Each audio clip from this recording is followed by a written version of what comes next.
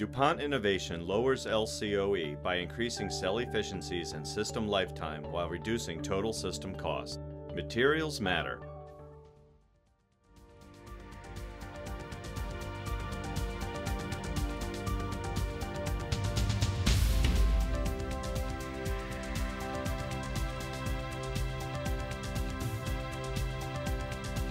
Hello and welcome to this week's PV Tech newscast.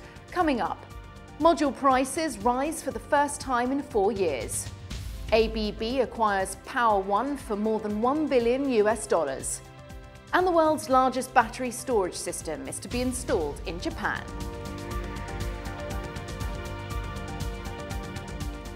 PV module prices have risen for the first time in four years, reflecting a newly restored balance in global supply and demand, research by IHS claims. The average selling price for Chinese crystalline silicone modules shipped to the EU increased by 4% in March, the first monthly rise since January 2009. The upward price trend is set to continue with a 1% increase expected in April and an average of a 4% rise during the next three months. IHS ascribes the upswing in prices to the shift in volume module shipments away from Europe to China and Japan's booming markets. A further factor cited by IHS and already extensively analysed by PVTech is the impact of the compulsory registration ordered by the European Commission of all Chinese solar imports into the EU ahead of the possible imposition of trade duties. Although IHS did not guide ASP trends in 2013, Dr. Henning Wicht, director and principal analyst of photovoltaics, told PV Tech that the recent uptake of module prices in Europe and the forecasted increase until June will help to stabilise the average selling price globally in 2013. But other analyses of the world module market suggest the industry is not completely out of the woods yet. Earlier NPD Solarbuzz predicted that leading module companies would not return to profitability until 2015 on the back of slowing ASP declines, higher global installations and further company consolidations. PV module revenue in 2013 is expected to decline 20% to 20.5 billion US dollars, down from 25.5 billion in 2012 due to only a small increase in global installations this year and falling ASPs. While revenues will remain below 2012 levels during 2013 and 2014, they're set to increase from 2015 onwards, reaching 32 billion US dollars by 2017, generating a profitable environment, according to the market research firm. In newly released first quarter results, major material supplier DuPont expects module production to be flat this year, as with 2012, though production is expected to increase through the second half of the year.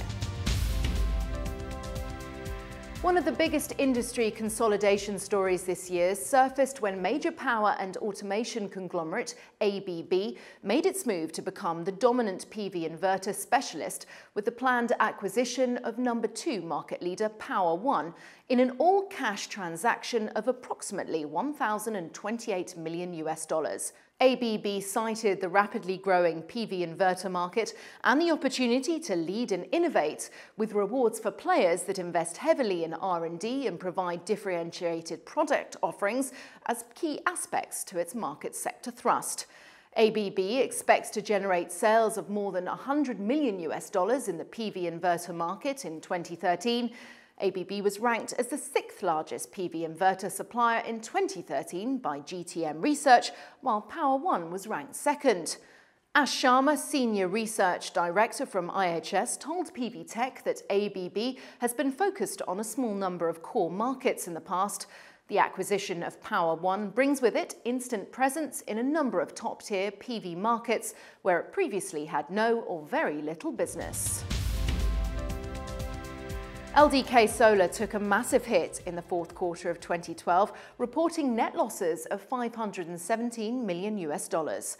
Customers would seem to have deserted the wafer and module supplier in waves as it struggles to stay afloat and avoid the bankruptcy fate of big rival Suntech.